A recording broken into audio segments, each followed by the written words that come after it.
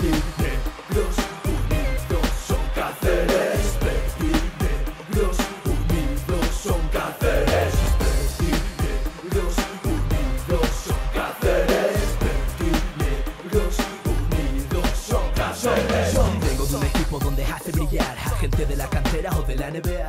Evidentemente hoy no ha sido nuestra tarde, no, no hemos estado nunca en el, en el ritmo de juego que, que Tao Castelló ha impuesto y nos ha costado una barbaridad leer, leer en ese- esa situación del partido que para mí era la fundamental. Ellos son un equipo que si corren, juegan a toda la cancha, eh, se hace muy complicado ganarles porque tienen una rotación de Tony Ten tiene una rotación de 10, 11 jugadores que mantienen ese ritmo durante, durante todos los minutos de la- del juego. Nosotros no, nosotros no tenemos, nosotros no tenemos tanta gente en, en las rotaciones y, y eso yo creo que ha sido la clave. Ha sido la clave. Hemos ido siempre a remolque en esa, en esa situación y en esa situación encima te, te impide, te impide estar metido en el partido, sobre todo anímicamente, que también nos ha, pas- nos ha pasado.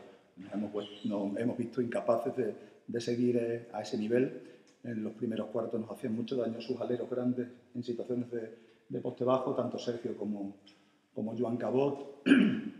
Y nosotros en adelante, no, no teníamos una buena lectura de ni las situaciones de bloqueo directo, ni sobre todo la de dar un pase más. Nos ha costado demasiado bote, demasiado bote. Nosotros además no somos un equipo que sepa crear el bote, porque no, tenemos grandes, grandes man- manejadores. El único que puede eh, hacer ese tipo de cosas a lo mejor es Jaycee en, en alguna una circunstancia que esté inspirado, pero eh, no somos, nuestros aleros son otro tipo, nosotros necesitamos hacer otro tipo de juego, de dar un pase más, de dar un extra pass, que le llegue la bola a nuestro cuatro abierto, y eso nos ha costado leerlo y no hemos sido, no hemos sido capaces de, de estar nunca en el, en el partido.